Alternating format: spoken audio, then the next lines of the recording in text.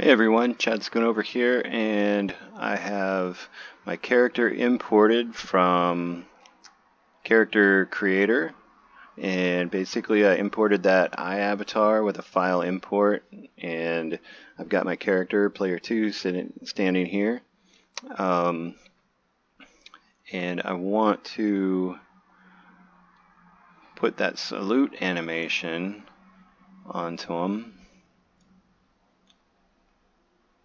and basically just kind of do whatever I need to do to trim it up, bookend it,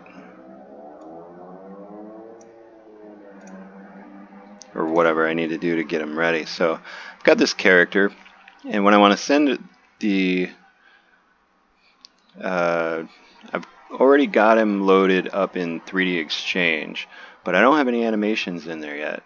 So what I want to do is collect a clip of my character, basically highlight this area here, and I like to start in the middle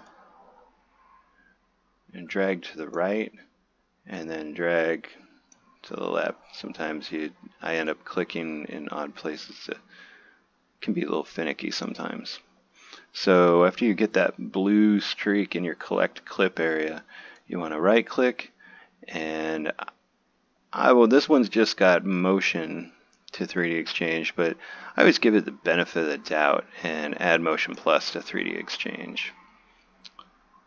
So basically I have a little pop-up here that's sending that to 3DXchange and then 3DXchange pops up and just shows your character saluting and so your animation is in there now and I will end this video and show the next video of exporting animations out of 3DXchange. Alright everybody, I will see you in the next video.